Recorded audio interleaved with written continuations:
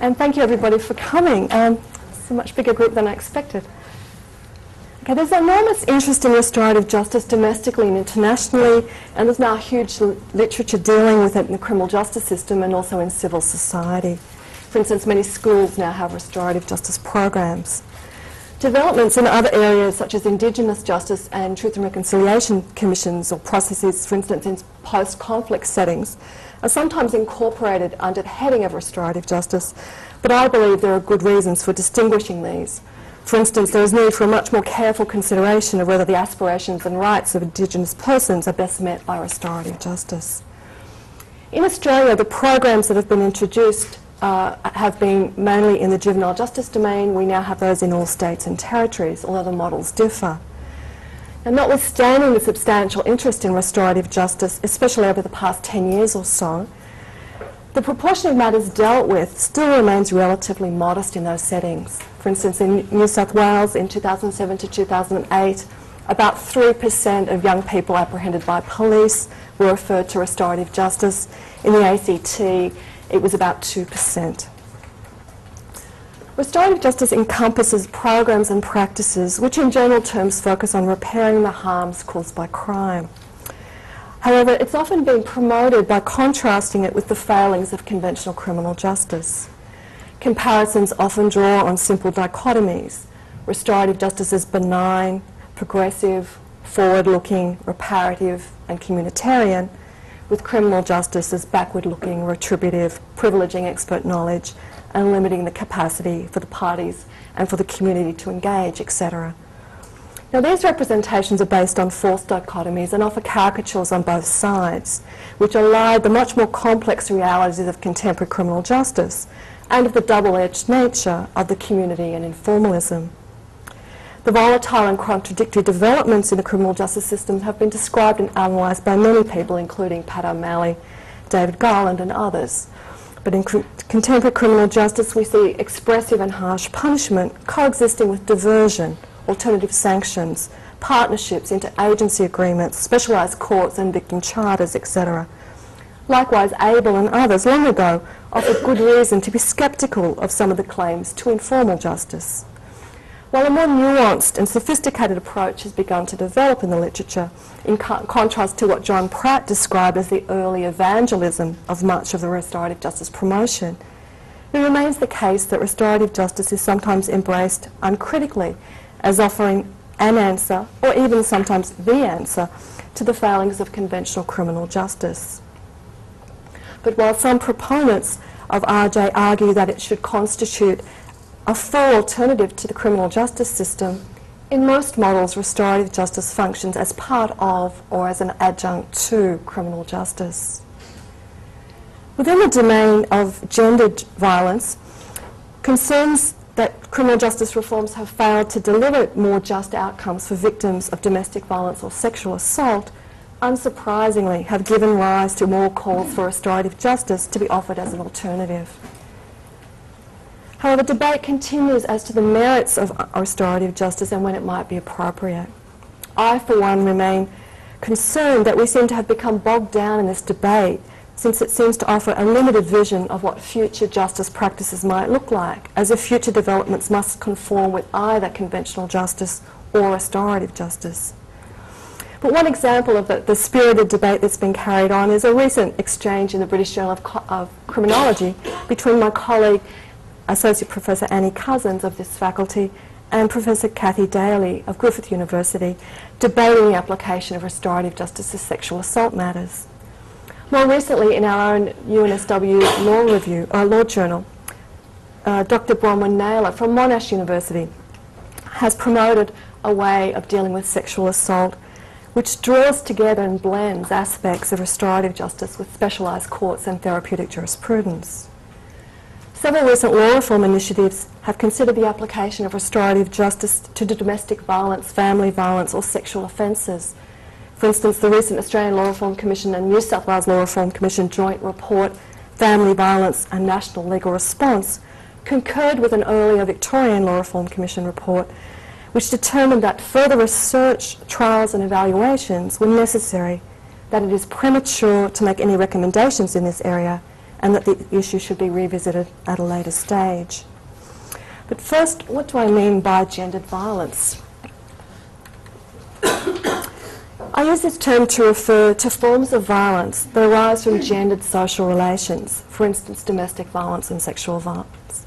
This is a reminder, and then I quote Miller and Mullins, gender and gender relations order social life and social institutions in fundamental ways, and that gender structures life opportunities and uh, life chances and opportunities and generates and legitimates cultural norms of difference and inequality.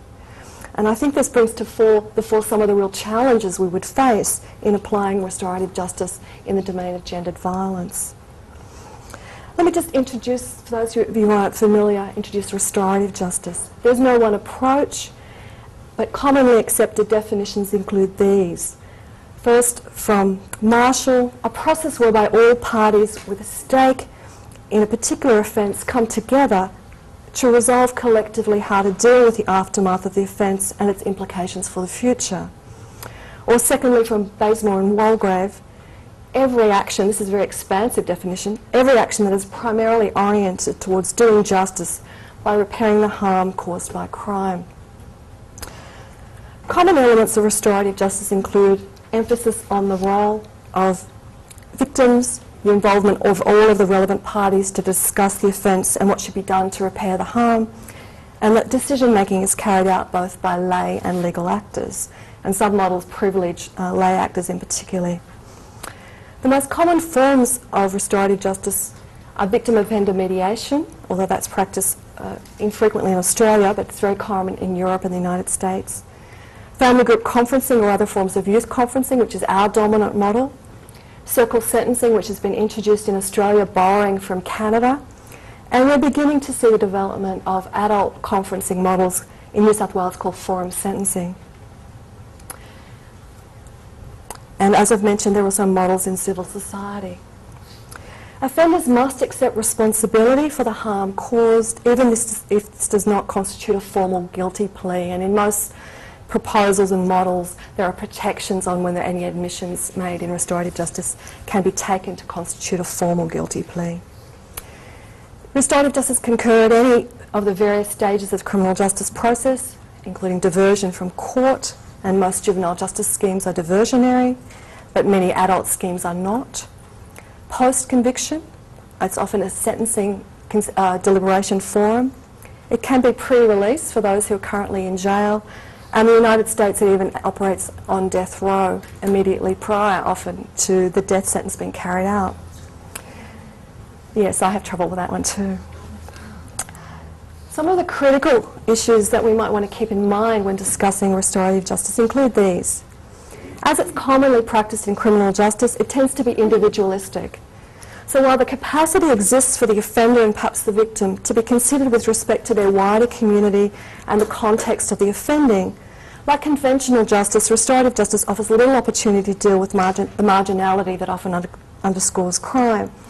And moreover, as Chris Cunneen notes, restorative justice is also quite consistent with the individualising and responsibilising of both victims and offenders that is consonant with neoliberal justice developments. It tends to be incident driven, not surprisingly given its location with respect to criminal justice. We focus on the specific incident.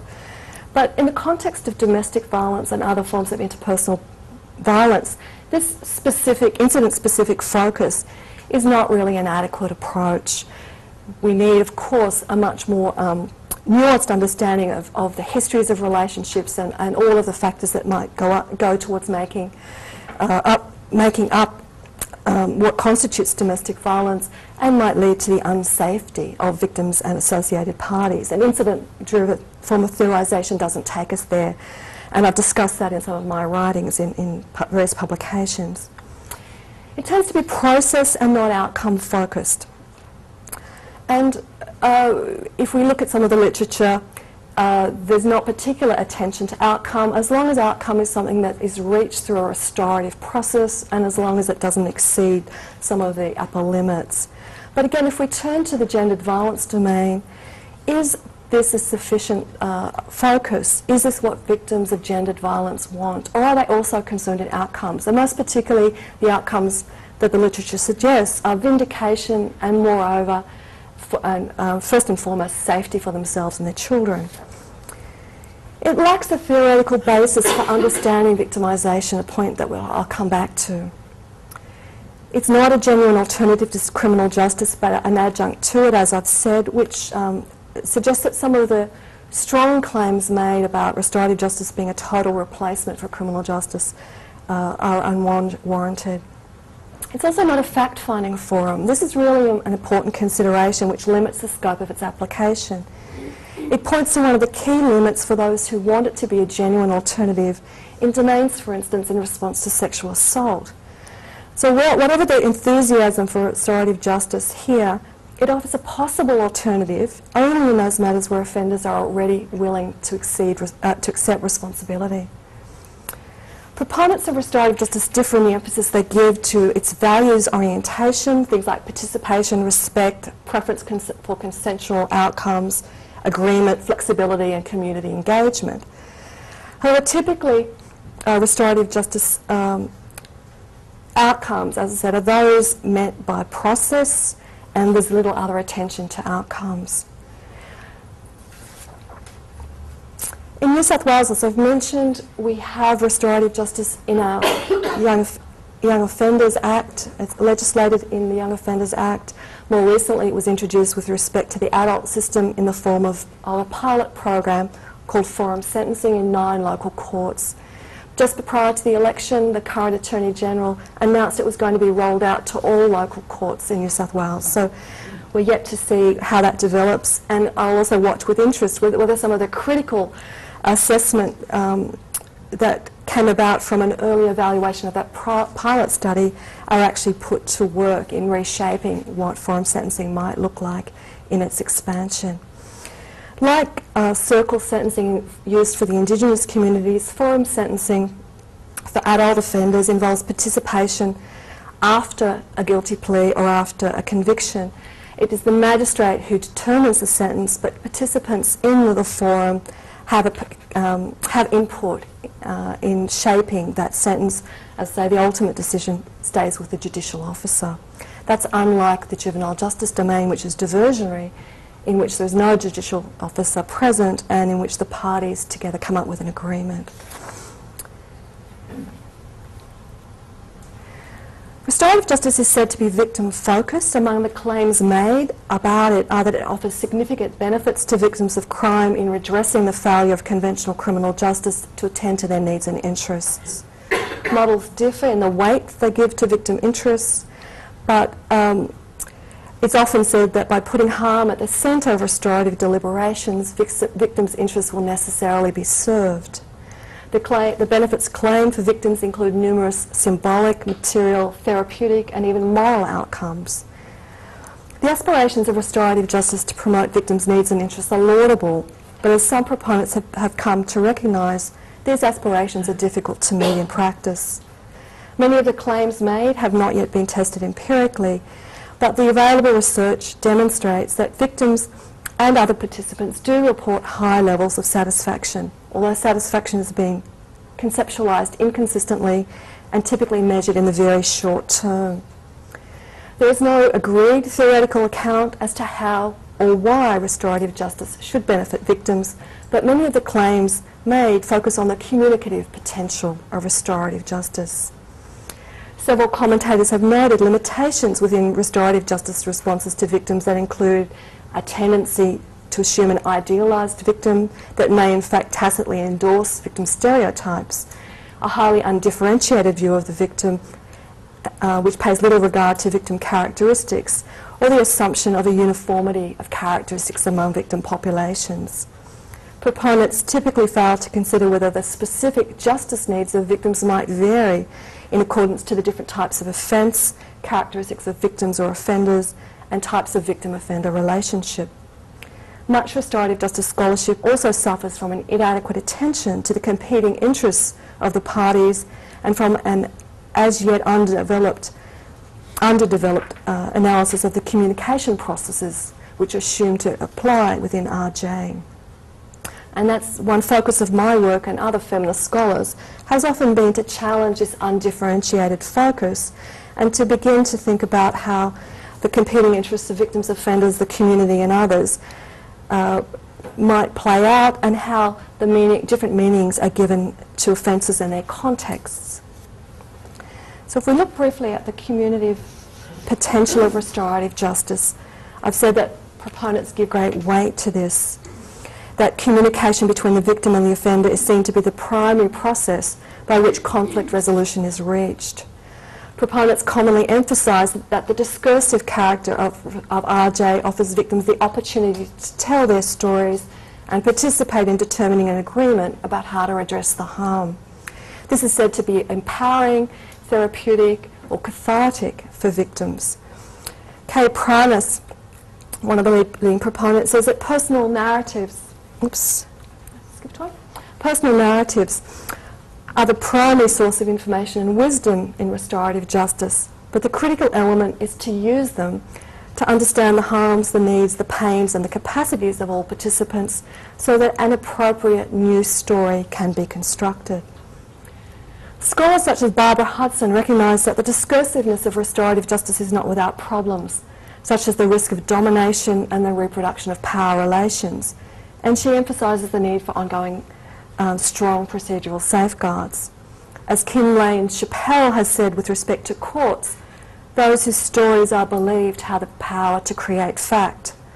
That statement may be just as apposite with respect to restorative justice. While restorative justice is not a fact-finding forum, the capacity to give meaning to the facts presented and the new story that is constructed may be crucial to shaping safe and effective outcomes in cases of gendered and, uh, violence and other contexts where there are significant power differentials, the power to shape fact may play out in undesirable ways. Yet few studies have paid attention to how meaning is constructed within restorative justice. There is reason for concern that in responding to offences like domestic violence or sexual assault, contests around the meaning of behaviour, its legitimacy and the harm caused may be particularly likely to occur since popular discourses continue to trivialise such offences, challenge the credibility of the victim, and or construct women as complicit, for instance by reference to allegedly provocative behaviour. Most restorative justice programs require that the victim, uh, sorry, the offender admits their offence as a condition for, for participation, but that does not adequately meet these concerns. The meaning of an offence cannot be readily assumed from a bald statement of facts that make up that offence. Where the parties have shared an intimate relationship, the meaning of a given event is derived from the context and the history of that relationship. And while the offender may admit his conduct, those words or behaviours may be minimised, neutralised, or the significance to others opaque. there may be risks in communication of intimate relationships and between parties who've shared intimacy. For instance, the risks of speaking frankly um, are great in the restorative justice context, and as Krista Smith notes, an unwelcome story or a story wrongly told conveys the, uh, runs the risk of rejection, derision, or reprimand. Yet restorative justice approaches have not accounted for one of the chief characteristics of most domestic violence cases, the, the existence of ongoing danger occasioned by the victim's resistance to the batterer's authority and control. Heath and, and Jennings, communications uh, theorists, talk about also the way in which people negotiate their relationships and in doing so calculate the costs and rewards of compliance, conflict, disclosure and relational commitment in asking people who've experienced domestic violence or sexual assault to participate in conferences or circles, we ask that they tell publicly something of their intimate lives.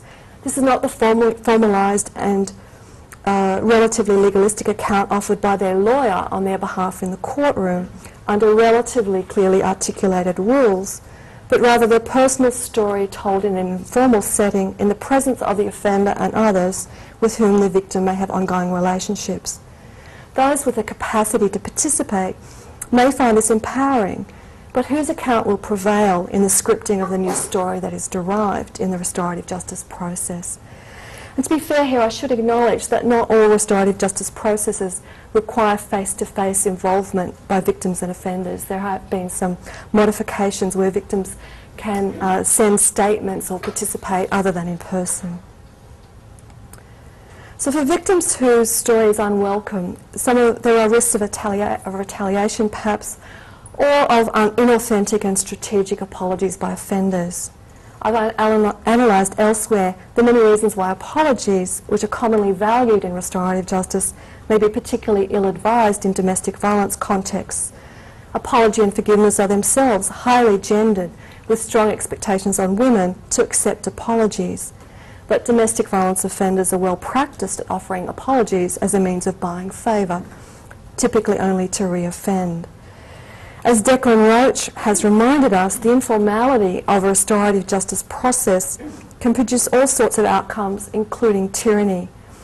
Without an explicit, sorry, without an explicit commitment to challenging women's subordination, older or limiting understandings of gendered violence may prevail. Questions remain about the extent to which the values or orientation of restorative justice is adequate, adequate to ensure that victims' interests are met in the absence of any explicit normative commitment to challenging subordination. Some might argue that this is met because victim participation in restorative justice is voluntary. I'm not persuaded. The agency that victims of domestic violence exercise is likely to be constrained and victims will vary in the resources that they bring to the encounter. But the choice to participate or not is not sufficient the manner in which the process proceeds and the safety and effectiveness of outcomes are not met by consent. As Crawford notes, restorative justice asks participants to take on a much more active responsibility than in conventional criminal justice. And thus, justice should require that any outcomes are grounded in a dialogue that recognises and takes account of underlying inequities and injustices explicitly. Let's move now to some of the some empirical findings that I think have got implications for our consideration of the application of restorative justice to gendered violence. The, the findings have mostly been uh, positive, but they have mostly engaged with questions of process and not outcomes. Evidence is strongest for victim satisfaction and procedural fairness, although, as I mentioned before, satisfaction is not consistently defined or conceptualised and most other claims haven't been tested empirically. Victim participation rates in the various restorative justice schemes vary enormously, from as little as 7% to as high as 85%. Some studies have found a gap between the aspirations to meet victim interests and victims' actual experiences. For instance, in Maxwell and, Morris, uh, um, Maxwell and Morris's 1993 New Zealand study, they found about a quarter of victims felt worse after attending a conference. Those that did were concerned that the apologies made by offenders were not genuine or that offenders were not able to provide the reparations that they expected. And these were attributed to implement implementation problems and poor practice. However, however, other research suggests that implementation failures might not be the full story. Consistent with other studies, Kathy Daly's work on the juvenile justice programs in South Australia found evidence of procedural fairness, but less evidence of restorativeness. For Daly, these findings said, sorry, so these findings suggest, I can't, the reason I'm doing this is my screen here is blank, so I have to look behind me to see which slide I'm up to, so apologies. For uh, these findings suggest that although it is possible to have a process perceived as fair, it can be harder for victims and offenders to resolve their conflict completely or to find common ground. Findings also call into question some of the claims made about the benefits for victims of crime. As James Dignan uh, summarises, the findings are more equivocal regarding the part played by conferencing, as opposed to, say, victim resilience, support from family and friends, or simply passage of time in contributing to any recovery. Few studies have examined how gender and other social relations, such as class, race, and age, are expressed in restorative justice practices but one which did so was a study by Kimberly Cook, um, which I'll come back to in a moment.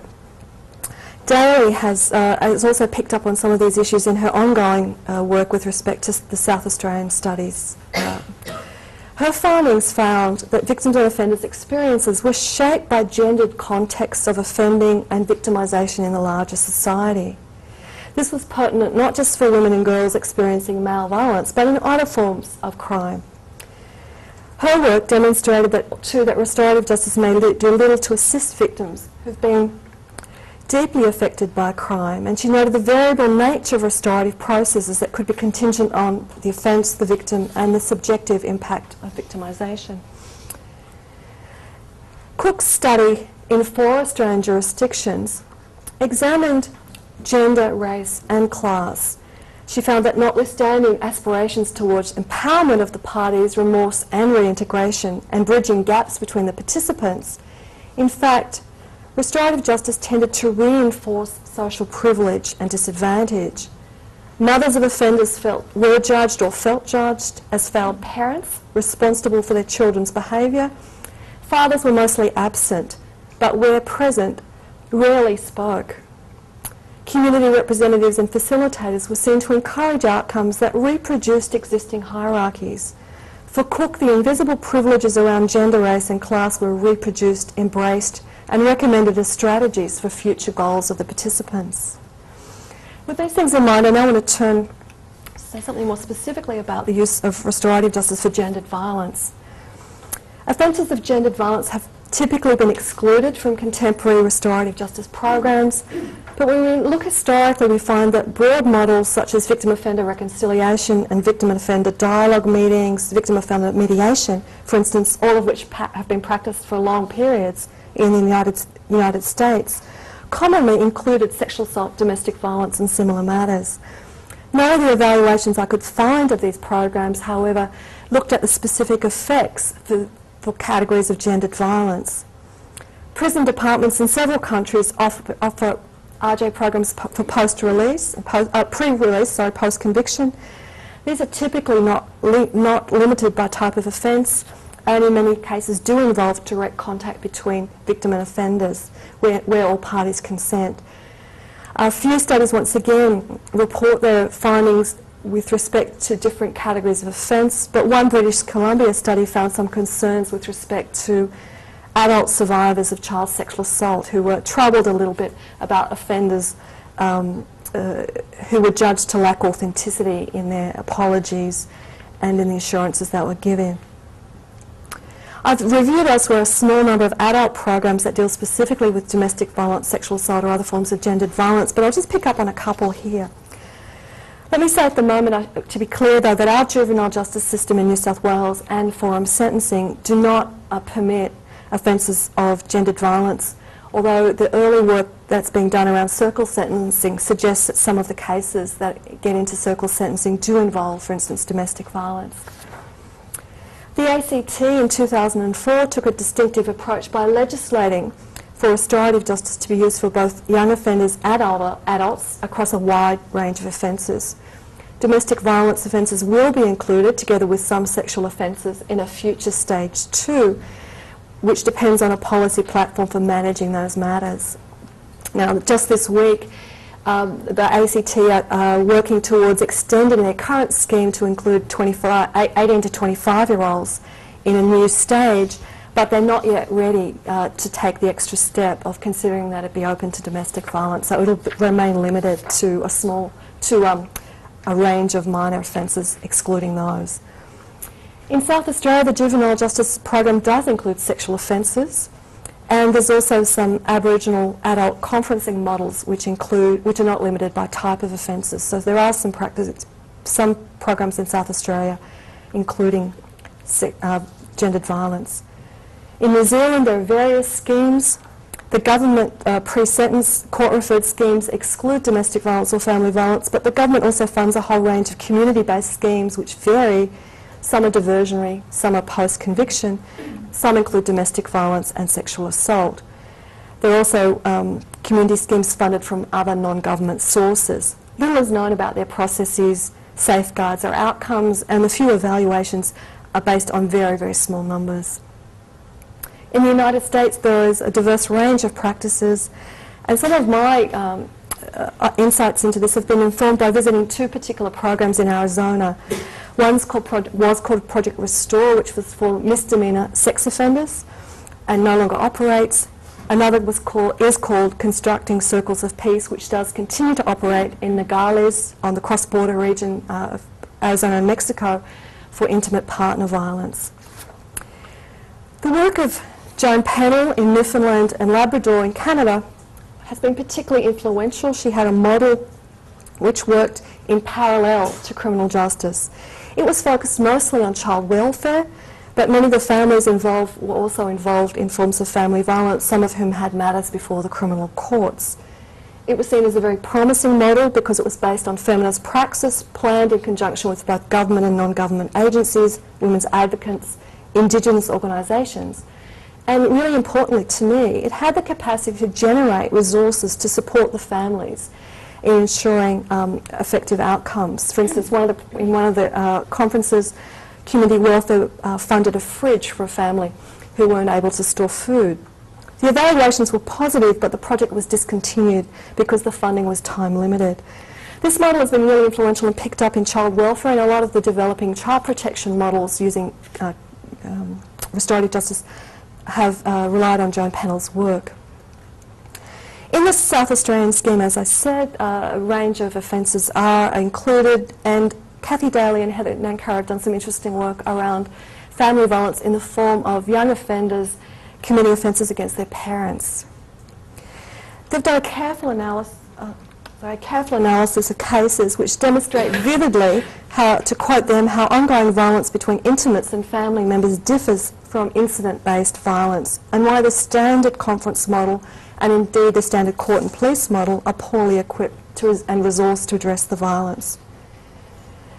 The model also was not equipped to provide resources or outcomes for the victim, since the legislation limits this to, the outco- to outcomes for the young person. The victim can receive apologies or whatever reparation is in the power of the young person, but nothing beyond that, which I think is an important thing to keep in mind given the claims that are made about restorative justice responding to victim needs and interests. Our young offenders model in New South Wales is the same. They found too that these conferences involving family violence required more time and work, much more attention to safety issues, a much more sophisticated understanding of the dynamics of partner and family violence, more time and resources in monitoring outcomes and accountability, and that none of these resources were available, but neither were they available typically in a criminal justice system. They found that the cases show that informal processes can re-victimise uh, when offenders or their supporters do not take responsibility for the violence, when they minimise the harm or cause distress to victims. And that the most a conference could achieve was to re-image appropriate relations of respect and non-violence and to check and challenge pro-violence and victim-blaming behaviour. I think I'm getting close to time, but I just want to pick a, uh, another couple of points out with respect to some of those findings and then move to the discussion and conclusion. Whilst victim offender mediation is not, is not commonly practiced in Australia, a study by Christa Pelikan on the Austrian restorative justice victim offender mediation uh, is, is quite important because she looks specifically at domestic violence cases. And yes, this does differ from our approach, but she used, uh, I think, quite a, uh, uh a well-founded methodology. Interestingly, one of her research objectives had been to prepare a topology of domestic violence cases that would guide the selection and placement of different categories of cases into different programs, some into restorative justice and some into criminal justice. But she found that she was unable to meet this objective because there were no clearly discernible criteria that would guide the a priori placement of cases. Moreover, she found that uh, that uh, victim offender mediation can assist the parties can assist the parties by reinforcing processes of empowerment, of liberation even, that are already on the way. But victim offender mediation had at its limits was futile in cases where empowerment had not commenced outside the process and where the victim lacked resources, whether these be money, qualifications or independence. She found too that not much was going on by way of healing But victim offender mediation did support the affirmation of the norm of the legally supported claim of the victim, as did criminal justice procedures. Project Restore that I mentioned in Arizona, based on sexual assault, um, has ceased to operate after very low referrals and a lot of controversy around it. Not all survivor victims, as they're called in that program, wanted to participate personally in the conference, and some and they uh, developed a mechanism of victim surrogates attending on their behalf. There was conflict between the partner agencies. But I should say, when I interviewed all of the stakeholders, the stakeholders were all positive about wanting a process like this, but found that this one didn't necessarily meet their aspirations, although some were more positive than others. Referrals to the program were very low, and when I interviewed defence lawyers, in part this was because they knew that the repercussions for their clients of not going to restorative justice often meant the case was simply dropped. Attrition rates in low-level sexual assault offences are so high in Arizona that they could be really reasonably confident that there'd be no consequences for the offender who chose not to go. They also uh, were trying to build incentives for offenders to go along to the conferences. So, for instance, in Arizona, if you went to a conference, you escaped lifetime sex offender registration, um, and you also um, had the benefit that the victim would have to waive as part of the process any rights that she might have to seek civil um, remedies or compensation. Uh, but even then, the uh, referral rates were tiny. They found it difficult to meet the needs of all of the parties. The program was not restorative justice simple as we might think about it here in our juvenile justice system. Offenders were required to enter a 12-month long treatment program and as a consequence the program spent a lot of its time and resources with offenders, quite deservedly so.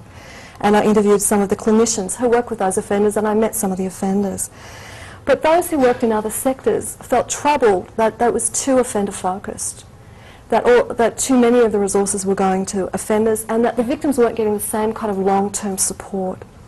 There are also really important political issues in Arizona. One of the people I, I uh, interviewed, of course, said that um, given the conservative nature of Arizona politics, it was hard to get a model up to offer that was seen to offer sex offenders something less than harsh justice. She in fact said to me, we do justice really well in Arizona. The trouble is it's, it's Old Testament justice. So the context was a really important one, which led to the, the, the, program failing for all sorts of reasons, conflict between parties, the politics, uh, issues around trying to find effective incentives for offenders to want to go to the program. There was simply not enough cases. For me, these findings remind us of the limits of restorative justice and the difficulties of working with gendered violence, perhaps especially where the violence is ongoing cha they challenge the idea that we can easily select cases that might be safe and appropriate for restorative justice. And if restorative justice is to be used, they point to the need for a much more sophisticated approach and understanding with many more resources. Recognising that victims, offenders and others have competing interests and are differently positioned also offers insights and challenges to restorative justice theory and practice and aids in consideration of assumptions that underpin ideas about the communication exchanges between parties that are so central to restorative justice. The findings should also temper some of the strong claims made about the therapeutic benefits of restorative justice for victims and also remind us that informal processes can re-victimise. They also highlight the need to attend to the preconditions that might be, need to be met in order for restorative justice to be politically achievable and to be supported by the community that it is seeking to engage. For me, they highlight the limitations of generic models of restorative justice for use with gendered violence. Some influential scholars like James Dignan is, are satisfied that all victims can be treated with equal concern and respect and should be entitled to receive reparation within processes like restorative justice. The Dignan is no reason in principle why any offence, including domestic violence, should be excluded from eligibility provided that the feel, victim feels that they would benefit. This approach seems to suggest that the key question is one of exclusion or exclusion from generic restorative justice models. I would argue that in working towards a safe and more effective form of justice for victims of domestic violence or other forms of gendered harm, this isn't sufficient. Generic models will not do. They fail to attend sufficiently to the specific character of the violence. It has a, they have a limited vision of victim needs. If restorative justice is to be true to the promises it makes to victims, it may need to adopt models that have the potential to connect them with services, supports and outcomes beyond the apology and reparation that may be in the capacity of the offender to provide uh, if they wish to or if they're able to offer it. I actually uh, recommend that we look beyond the dichotomous construction that the only options are restorative justice or conventional justice and think more creatively about hybrid models uh, that might better meet justice needs. And I think I'll leave it at that point. Thank you.